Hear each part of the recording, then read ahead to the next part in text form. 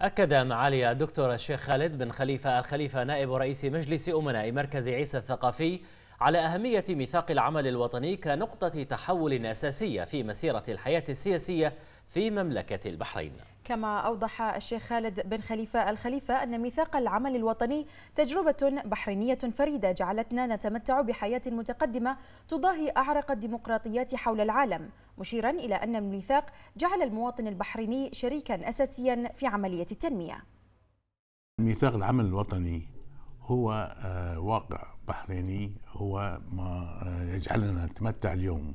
بسلطات آه، ثلاث. هذه السلطات سلطات منفصلة سلطات في الحقيقة هي التي تجعل من حياتنا السياسية حياة متقدمة جدا تضاهي أعرق الديمقراطيات في العالم.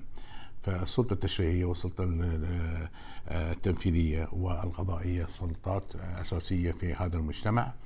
والمواطن في الواقع يشعر بأنه يساهم في هذه العملية في عملية التنمية عملية المراقبة المزدوجة بين كل كل كل سلطة إلى آخره.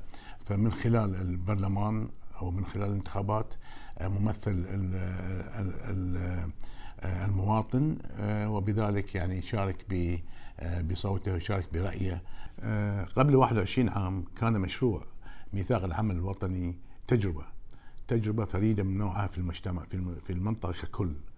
فلم تشهد المنطقة تسمية ميثاق عمل وطني أو التفاف شعب حول قيادة بثوب مختلف جدا عن عن ما كانت تطرحه السياسة آنذاك في كل الدول العربية بلا شك يعني. ولذلك نعتقد بأن قبل 21 سنة كانت هذه تجربة ولكن اليوم نفخر بأن يكون آه، ميثاق العمل الوطني هو قاعدة أساسية لتاريخ قادم في المستقبل.